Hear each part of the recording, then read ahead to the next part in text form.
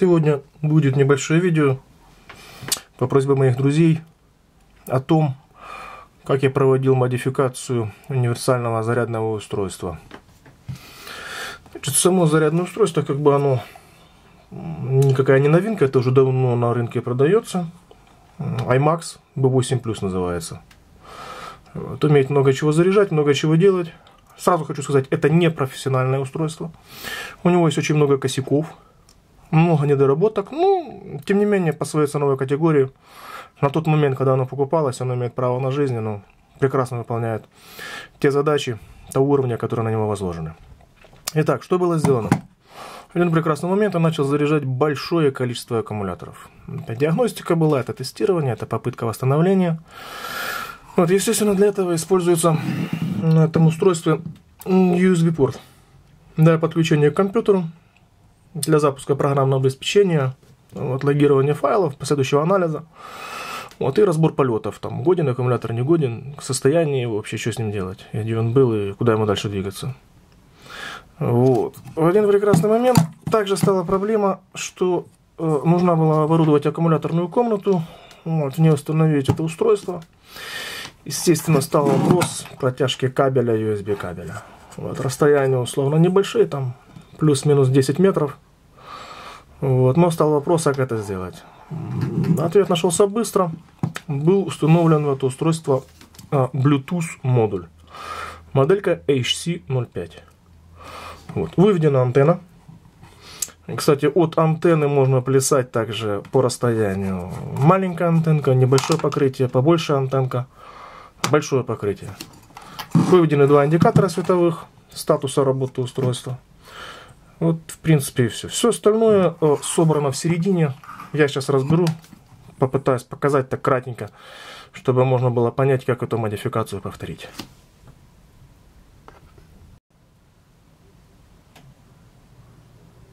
Итак, продолжаем. Разобрал я корпус. В принципе, он откручивается очень просто. Болты с одной стороны, болты с другой стороны.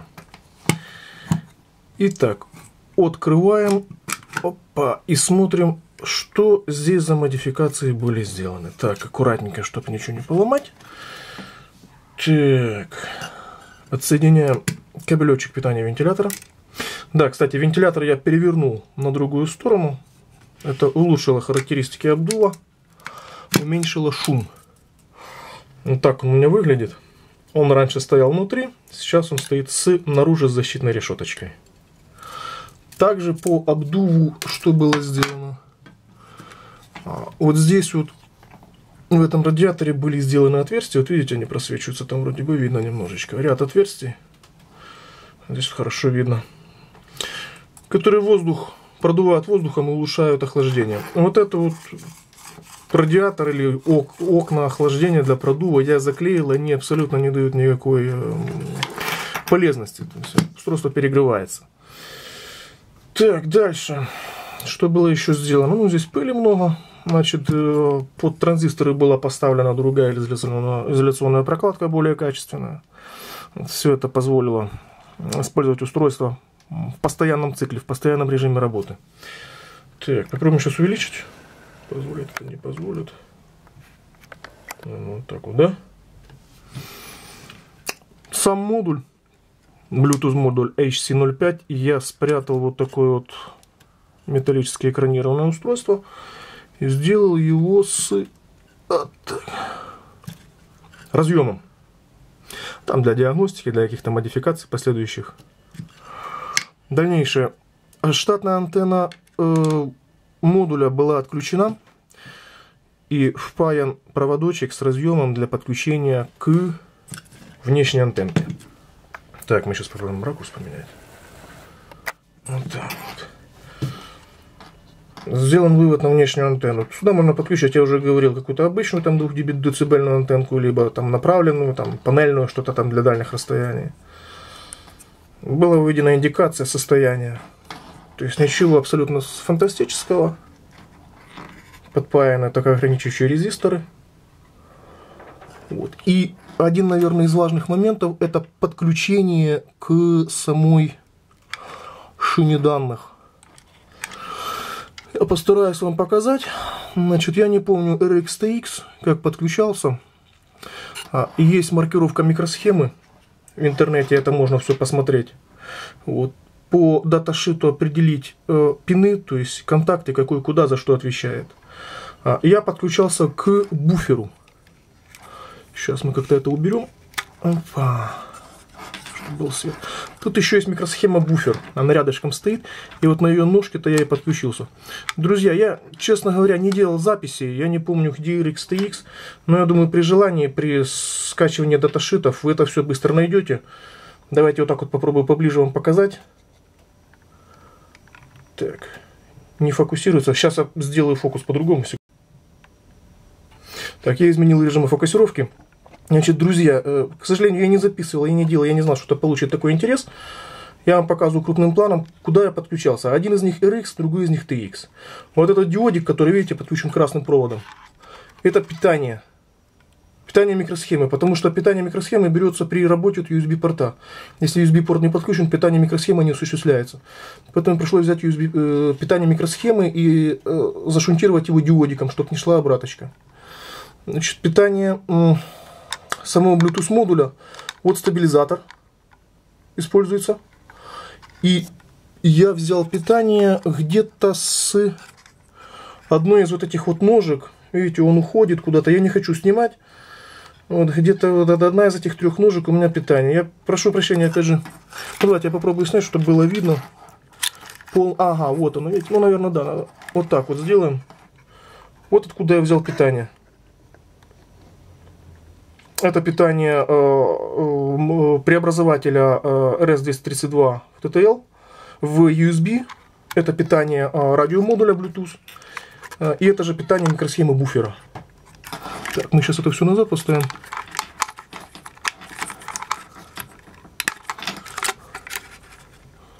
Ну вот, снял, а теперь не поставлю. А, нет, есть, стало все на место. Так, что еще мы этого заинтересовать? В принципе, все просто, как никогда. Еще раз крупным планом покажу. К сожалению, я не делал зарисовок, я не делал никаких чертежей. Вот сейчас, наверное, откроем э, Bluetooth модуль, посмотрим, как сделан он.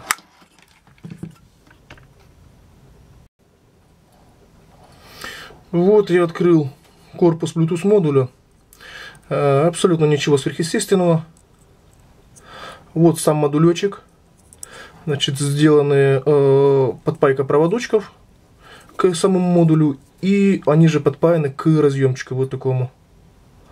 А, подпаяна масса вообще для экранировки. Все-таки радиопередающее устройство, решил его экранировать. Вот.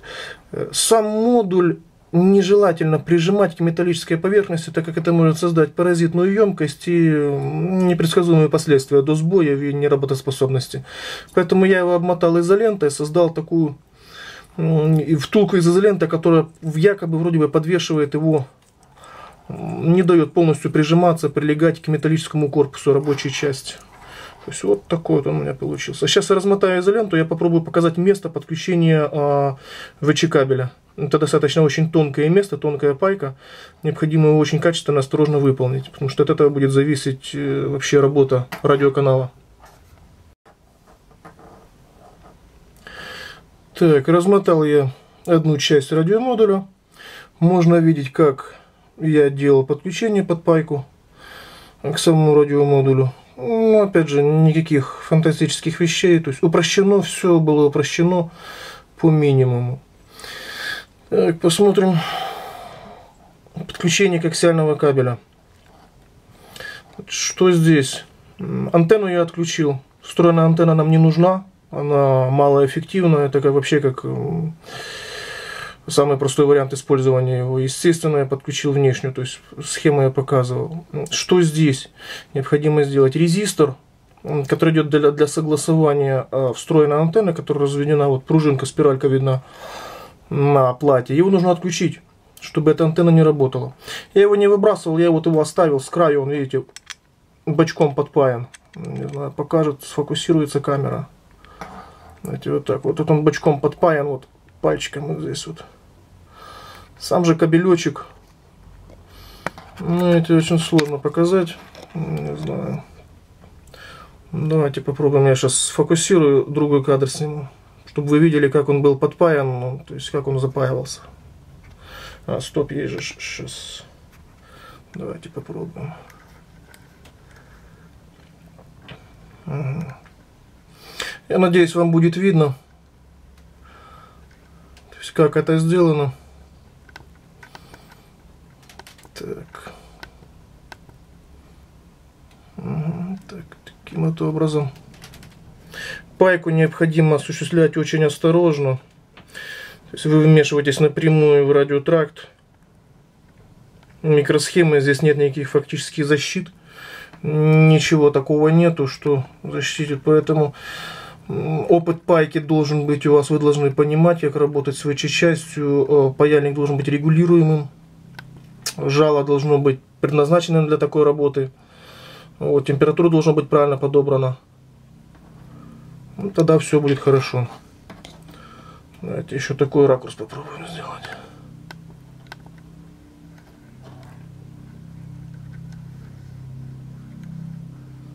Угу. И как-то так.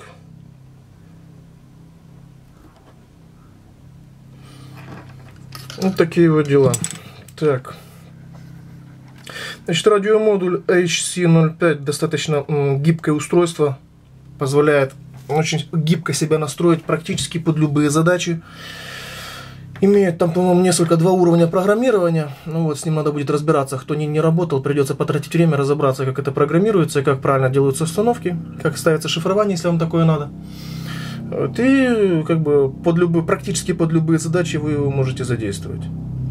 А, при подключении, когда вы что будете подключать? Когда вы будете подключаться к шине данных, не постесняйтесь проверить э, стелографом уровни сигналов, уровни фронтов, на тот случай вдруг, если вы где-то что-то коротнете или сопротивление будет слишком низким и будет делать завалы, либо вообще задавит э, информационный сигнал, то есть данные, которые будут передаваться.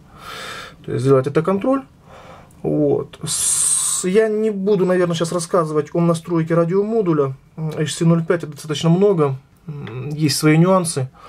Вот. Тот, кто будет заниматься этим, наверное, сам уже будет вникать во все эти подробности, во все нюансы. Но, тем не менее, в любом случае я скажу, что это все делается. А, если вы даже мало с этим знакомы, есть инструкция, есть описание, есть много форумов, где, если не все, то самое необходимое разжевано, сказано уже. Вот. Поэтому, наверное, на этом остановимся. Вот еще раз покажу, как все было сделано. Общий вид.